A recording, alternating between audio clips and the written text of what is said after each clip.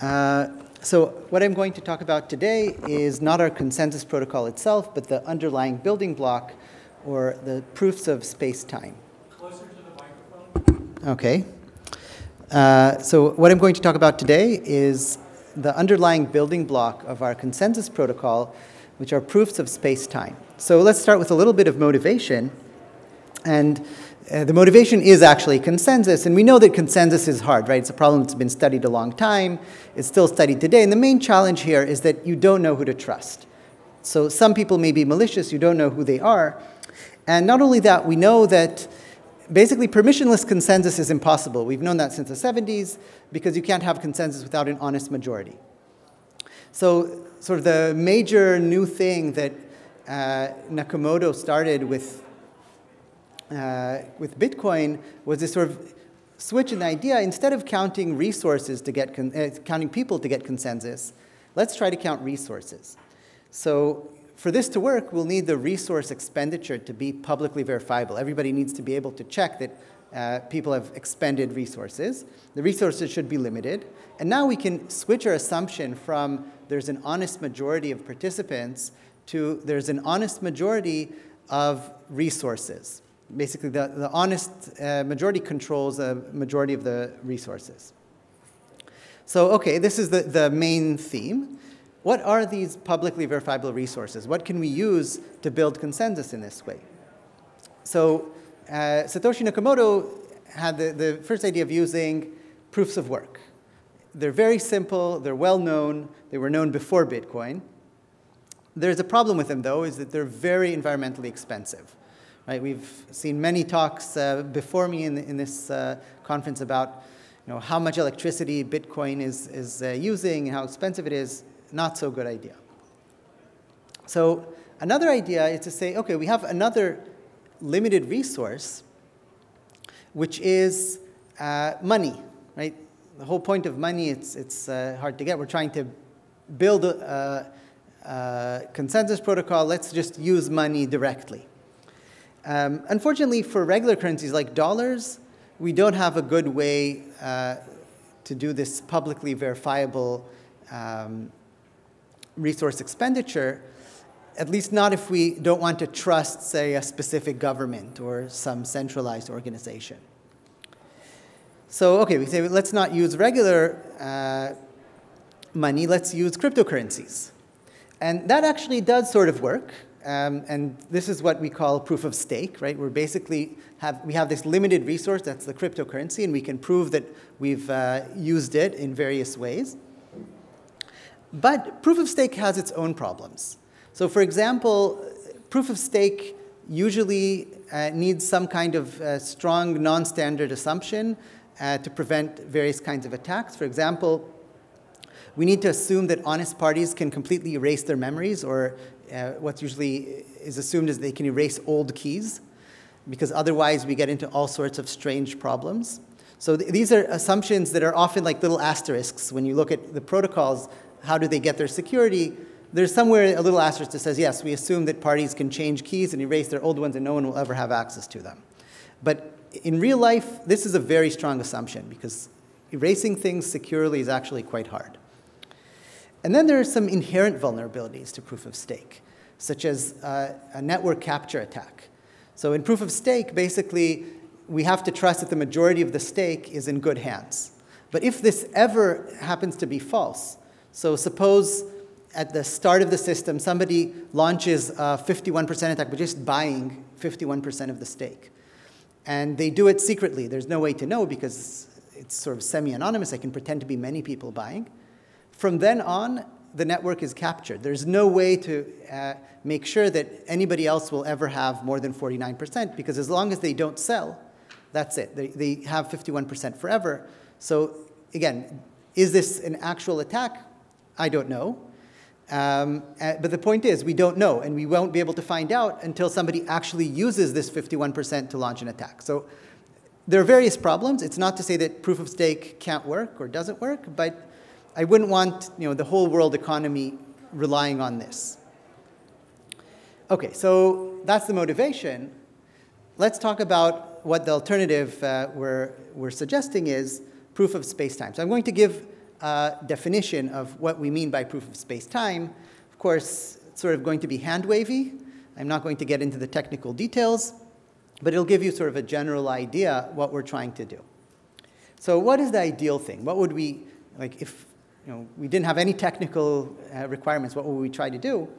Um, we want to show that you basically reserved a piece of your disk, your hard disk, for a unit of time. So this is why we call it space-time, right? You're storing something for a week.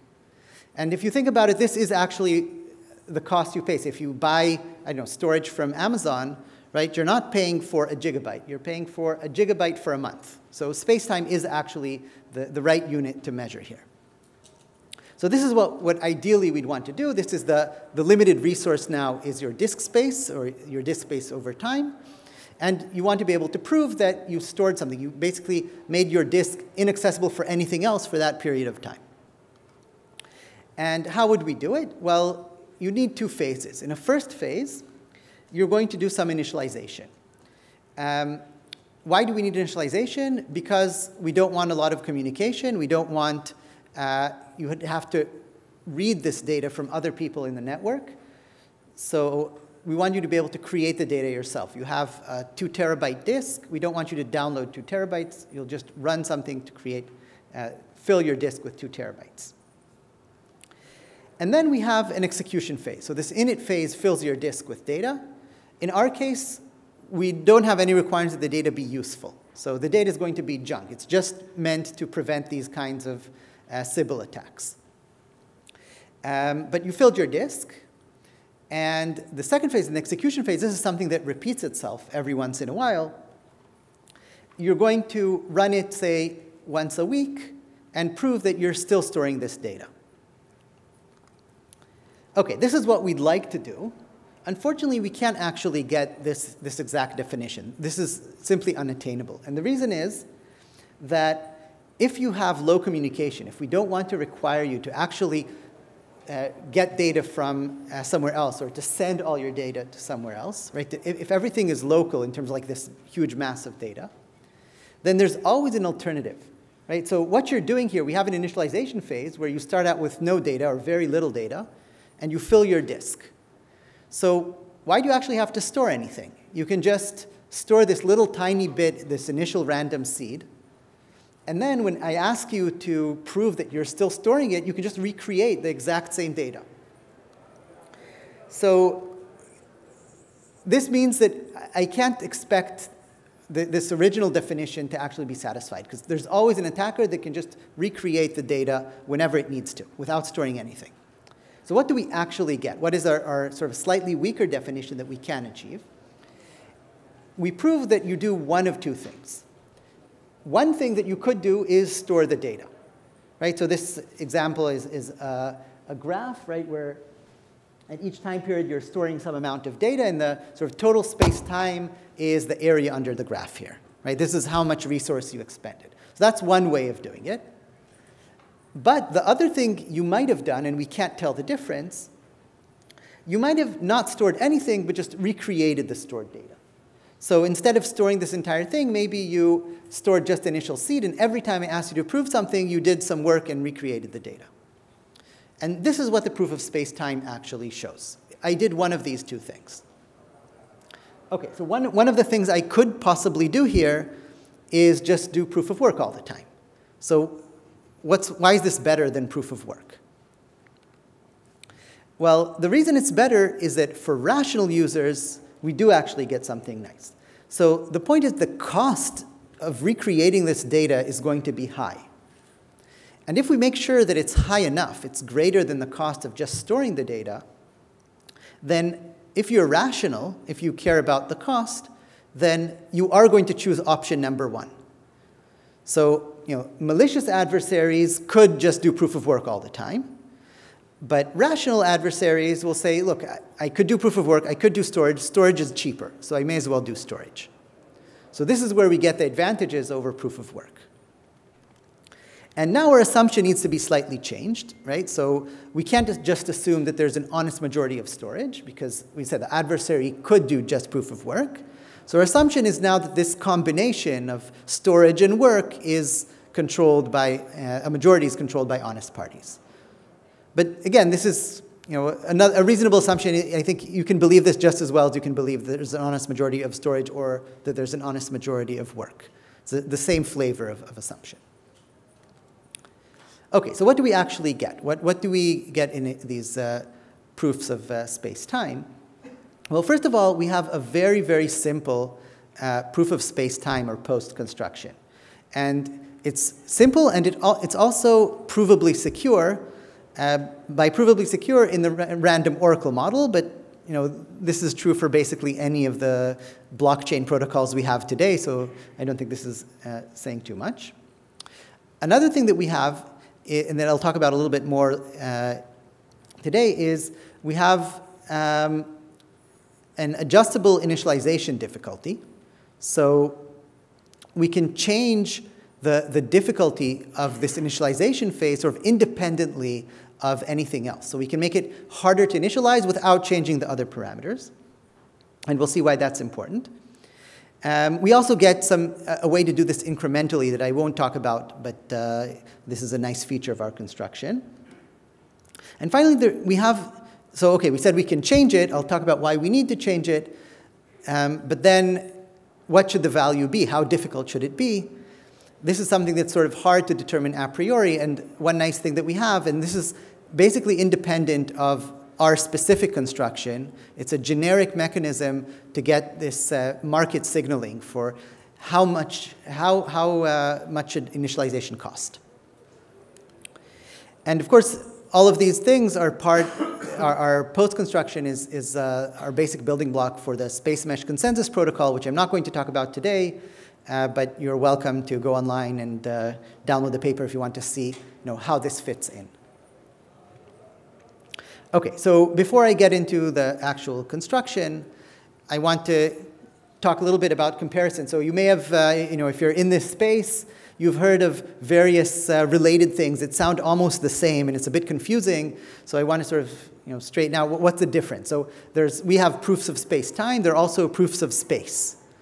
Um, so what, what are the two? Why are they different? So uh, one thing that's different uh, well, maybe before I say what's uh, different, something that is the same is basically what they're trying to do is the same. In proofs of, of space, we don't have uh, this initialization cost explicit, but actually they, uh, they need the same resource. So we, are talking about something that's trying to do the same thing. Um, in terms of the difference, so our construction, our specific uh, post-construction is very simple most of the proof of space constructions uh, are based on something called graph pebbling, and those are pretty complex. Just even describing them is, is pretty complex. Programming them is more complex. There are some newer ones that are not based on graph pebbling. They're also more complex than our constructions. Secondly, our construction, uh, to the best of my knowledge, is the only one that has an adjustable init difficulty, and we'll see why that's important. Um, the other constructions, you can adjust the initialization difficulty, but to do that, you also have to make the verification correspondingly more expensive. So that's a pretty big cost, and uh, this is something that we can get around. Uh, on the other hand, it's not that you know, we're strictly better in every way. One drawback of our construction is that our prover runs in linear time. So you actually, in order to prove that you stored at two terabytes, you will actually have to read two terabytes of data. So it doesn't sound like a horrible thing if you're doing it once every two weeks. If you're trying to use it every five minutes, that's not such a good thing. And the, the proof of space constructions actually have a much better uh, proof complexity. So in both cases, the verification complexity is very cheap, but in the proof of space, you can prove in polylog time rather than uh, reading the whole thing. Okay, so that was proofs of space-time versus proofs of space. What about memory hard functions? They also sound sort of similar. They're like we have we have to use a lot of memory and we're also using a lot of storage. What exactly is the difference here? So here there's actually a, a big definitional difference, right? What we're trying to achieve with both is different. So with proofs of space-time, we're trying to say between the two proof computations, right, between my first proof and the next proof in uh, two weeks, I've stored a lot of data. In a memory hard function, I want to say computing the results of this function requires a lot of accessible memory while I'm doing the computation. So these are very uh, different and they're incomparable in terms of strength. So for example, uh, proof of space-time might be computed with very little memory. In fact, it's good for it to be computed with very little memory. So while I'm actually proving, I do have to maybe read the entire uh, disk space, but I never have to put the whole thing in memory. I do it just sequentially. Uh, whereas with a, a memory hard function, right, maybe I need to use a huge amount of memory to give the answer, but if I'm giving you like two answers, once today and once in two weeks, I could reuse the same memory. Maybe I can even run you know, multiple different proofs for different results together and sort of reuse the same memory while I'm doing this. And the, the proof of uh, the memory hard function doesn't prevent that. So they're used for very, very different things. Okay, so now let's get to the construction. How do we actually build our proof of space-time? So what's the high-level idea? What we're going to use as our data is actually going to be a table composed of proofs of work. So each cell in this table, think of it as a proof of work. It's the same as we use, say, for Bitcoin or for Ethereum. Now, this gives us very fine-grained control over the initialization cost. Because we can, proofs of work have this property that we can change the difficulty basically in very small increments. We can say exactly how hard each of these cells is to fill. And so we can easily say how much work you need to do to fill the table. And it's also very easy to verify a single table entry. Right? You can just ask you to give me the proof of work, and the proof of work is easy to verify. That's the whole point of a proof of work. So that's great. Um, what do we do in the execution phase? Well, I want to show that I'm still storing this data, right? I filled this data two weeks ago. I have this table of proofs of work. How do I prove to you that I still have this, this table right now?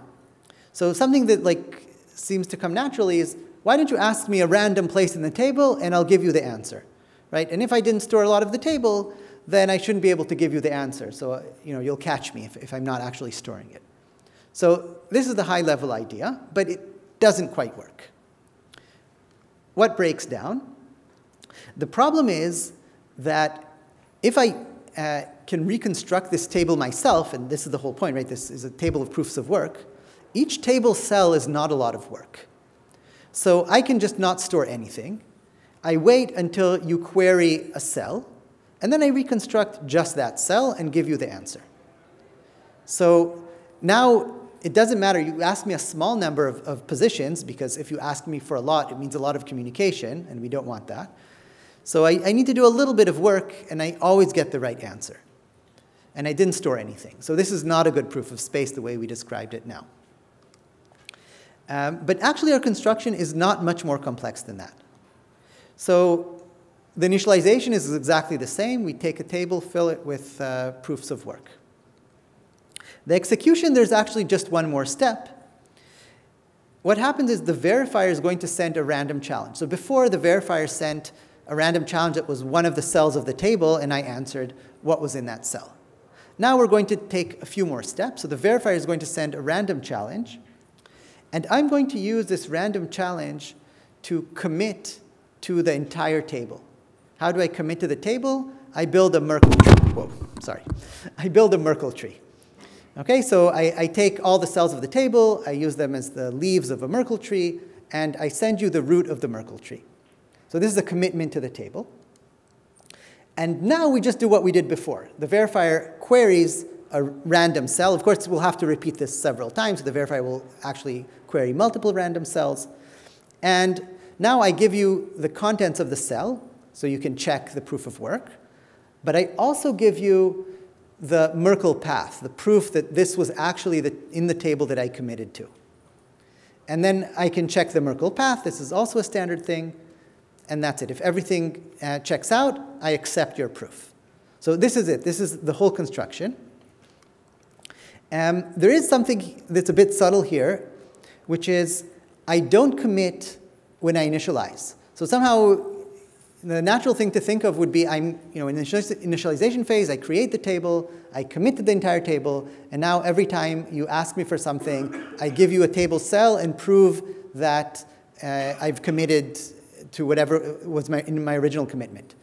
But this actually doesn't work. This is, it doesn't work for the same reason that the original thing didn't work, right? Because I can reconstruct just the cells of the table that I need. So it, it's, uh, the attack is a little weaker here, but it's still an attack. And even if I committed to the table, I can still uh, do the same type of thing. What I do instead is I commit every time I uh, prove that I'm storing the data. So this is what requires us to actually do this sequential read over the table for every execution phase. Okay, so let, us do a very like a high level analysis why does this uh, work? Why, why is it secure? Well, the idea is suppose I don't store the entire table, right? So I, have you know, stored even most of the table. There are some entries that I haven't stored. So now you give me a challenge and I have to commit. I have to basically say in advance which cells I'm going to reconstruct and which I'm not. So the cells that I did not reconstruct, I'm now committed to. So we can call them bad cells. And the point is, because I'm committed now, if I don't have the entire table before I get your query, then you will catch me, again, it depends on the fraction of the table that I'm not storing, but if, say, I didn't store you know, half the table, then with probability half, for each query, you didn't catch me. Uh, sorry, you will catch me, right? And you know, we query enough times. If we query 10 times, the probability that, uh, that I don't get caught if I didn't store half the table is like one in a thousand. And this goes down exponentially. So this is basically the reason why it works.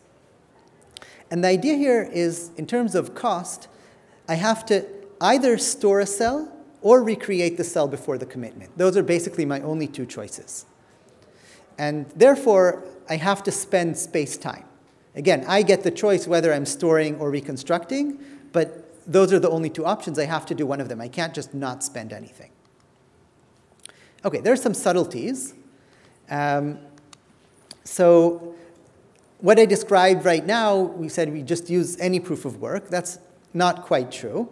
Um, the reason is that you might be able to take multiple proofs of work and somehow compress many results into a smaller space. So you'll still do the work, but maybe you don't need as much space to store them as the proof of work tells you to. Um, so this doesn't violate the proof of work security, right? Because you're still doing the work.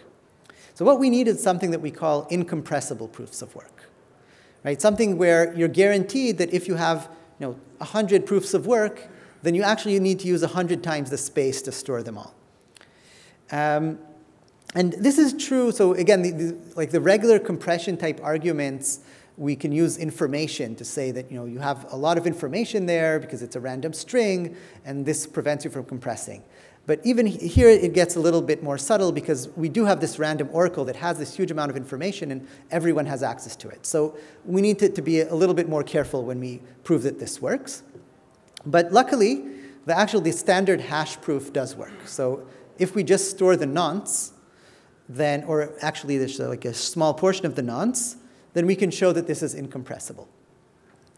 So the, the Bitcoin uh, proof of work actually is basically good enough. Okay, so we have a, a construction, and we've seen what it does. And I told you that one of our properties that we have is this change in initialization cost. So why does it matter? Why, why do we want to change initialization cost? So remember that what we promised is that this is not just a proof of space-time, it's a rational proof of storage, that rational users prefer to store data rather than do the work. But this is only true as long as the cost of initialization is more than the cost of storage. Right? Once the cost of initialization becomes too low, then adversaries will just prefer to do the initialization, rational adversaries, right? They will do the initialization again and again rather than store the data. And the thing is, when we start the system, so maybe now we know the exact cost of storage, the exact cost of work, and I can set the parameters so that it actually is true that the cost of initialization is much higher than the cost of storage. But things change over time, right? So if we're using this as a basis for a cryptocurrency, it's going to keep running for many years, it's not reasonable to assume that the costs of storage and, and the costs of work are going to remain exactly the same, or even the same relative to each other. Right? So for example, the initialization cost is dominated by proof of work. If somebody creates a new ASIC, or somebody, uh, you know, just Intel comes out with a new computer or AMD and prices go down, right? The initialization cost can go down. On the other hand, storage costs might increase. So maybe you know, the price of work stays the same, but there's flooding in Thailand and you know, the hard disks suddenly become a lot more expensive. And again, what we care about is the relative cost. So if suddenly the storage gets very expensive, then maybe initialization suddenly is relatively cheaper compared to storage. There are also things like opportunity costs, right? So some other proof of uh, space network is suddenly offering money for uh, storage, so we have to offer more. Um, and the final thing, and this is uh, maybe the, like, the, the most critical for Spacemesh, is how long you, how long you, you have between these uh, proofs, these execution phases. So if we're waiting one week, then your space-time is one week times one terabyte. But say they're now double the number of miners. So maybe now you have to wait two weeks between each execution proof. So the storage costs the same per gigabyte per week, but now you're spending two weeks. So it's twice the space-time cost. And the initialization cost did not change. Right? So if you want to be able to spend longer periods of time between proofs and you don't know in advance exactly how long it's going to be, this will also require you to change the initialization difficulty.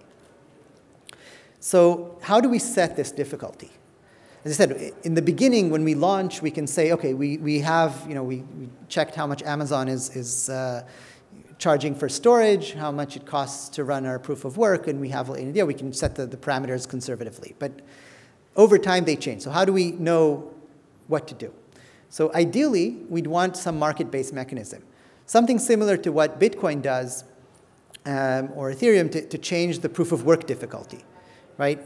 Although they do it for different reasons, but this is something that's sort of an automatic part of the protocol. I don't need an external oracle to tell me what the actual real world prices are.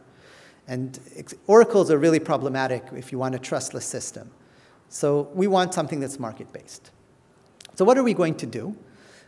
We're going to have miners basically tell us when they prefer work. Um, but of course, we can't just say, you know, tell us when you prefer work because this is very gameable, right? Miners might just lie. So we're going to incentivize them to tell the truth. How do we do that? We let them prove that they're actually using work rather than storage. And then we just give them a little bit extra reward. So if you think of this in the context of a cryptocurrency, right? Every time you use a resource, then you're going to be eventually rewarded for it just like we do in you know, all the existing cryptocurrencies, right? If you're using proof of work, you get a block with a reward. Or if you're using proof of stake, again, whenever you generate a block, you get a reward, and your reward should be proportional to the amount of resource you expended.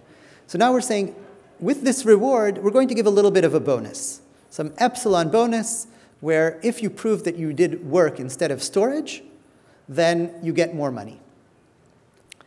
And so now we change the calculus for rational users. If the proof of work is almost as cheap as storage within epsilon, then I actually prefer to do work. So you can think, yeah, this is bad for the environment, but it's only going to happen for a short time until we change the difficulty again and everyone goes back to storage, so don't worry, the polar bears will still be happy. Um, so the idea is once we have this mechanism in place where rational miners will use work when the cost is close to or below the cost of storage, and otherwise they'll use storage, we can check. We have all these proofs that the miners are generating, and we can check uh, which ones have this extra signal, the, the extra reward for using work, and which ones don't. And so, for example, here, you can see in the beginning everybody's using storage, and then at some point the cost of work goes down or the cost of storage goes up. We don't know from this mechanism exactly what happened, but we know that the relative cost has changed, and now everybody here is using work. So just like we do in Bitcoin, right, like we can take every two weeks, say, and look at what the fraction of, of users are that are using work, and if it becomes too high, we say, okay, this is their signal for increasing the initialization difficulty until this fraction goes down again. Okay, so this is the, the basic idea. Um, how do we choose this proof of work? So it's not quite as trivial as uh, we, we show now because the, the, if we just choose the naive solution of saying, well, okay, we'll just have a separate proof of work, right? If you're doing uh, storage, then you do the regular post, and otherwise we just use Bitcoin type proof of work. Um, this almost works, except you have a problem that the cost of this proof of work isn't very tightly bound to the cost of the actual initialization. And if the, the cost, say you're using a different hash function, right? Or the hash function is doing something slightly different if the cost of initialization, of the real initialization um, is much higher than this alternate proof of work, then your rational analysis there doesn't work anymore, right? Honest, honest rational users might prefer to do the alternate proof of work even though the initialization is actually still more expensive than storage, just because the alternate proof of work is, more, is much cheaper than initialization. So we really want to have this like tight connection between the alternate proof of work and the actual cost of initialization. So what is our solution? We're going to use the actual initialization as our alternate proof of work.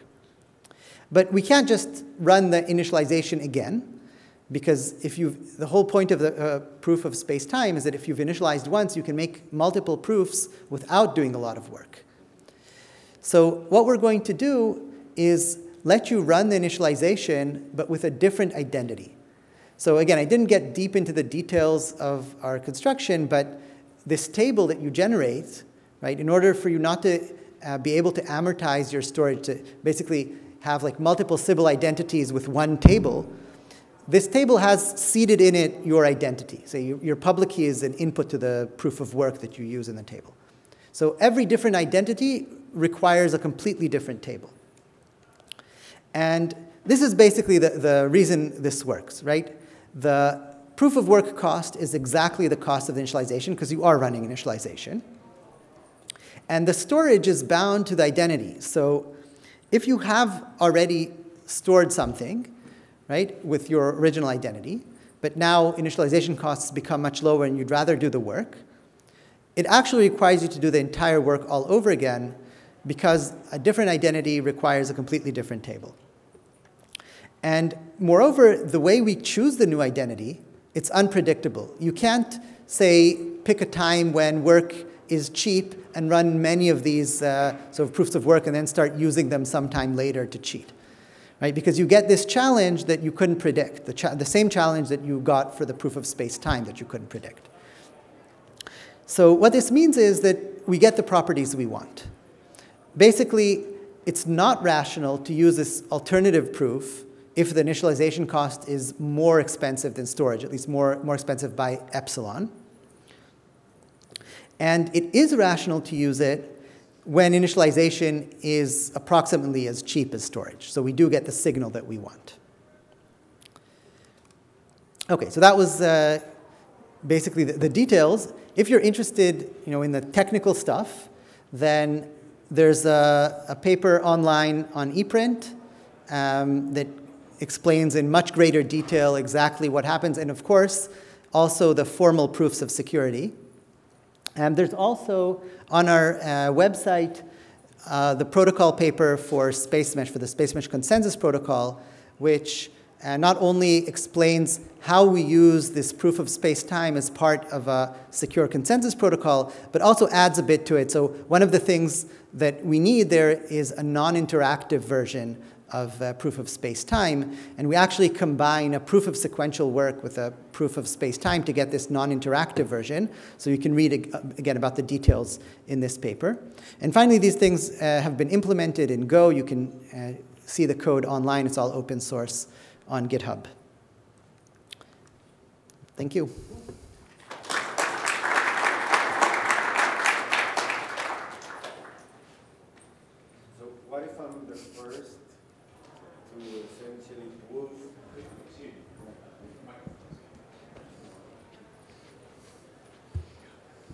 Mentioned that the assurance that something is being recalculated rather than stored comes from the new ID.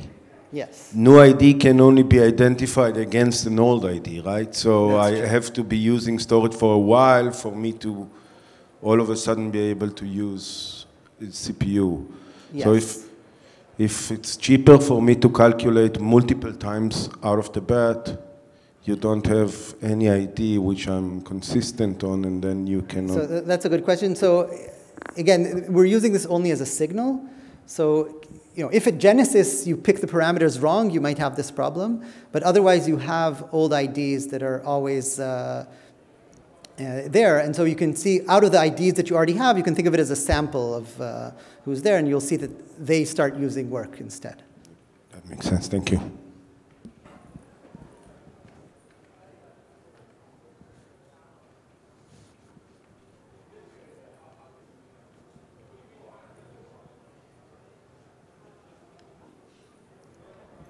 So, what stops someone from just storing the Merkle tree and then calculating each uh, piece or like each item of data at that point? Like you said, you were using the Merkle root and Merkle Yes. tree. So this, this is exactly what I said, that you cannot create the Merkle tree in the initialization phase.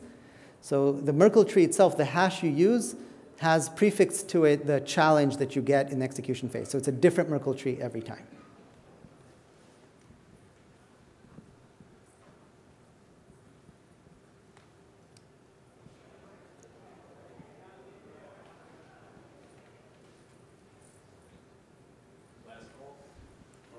Okay, thank you.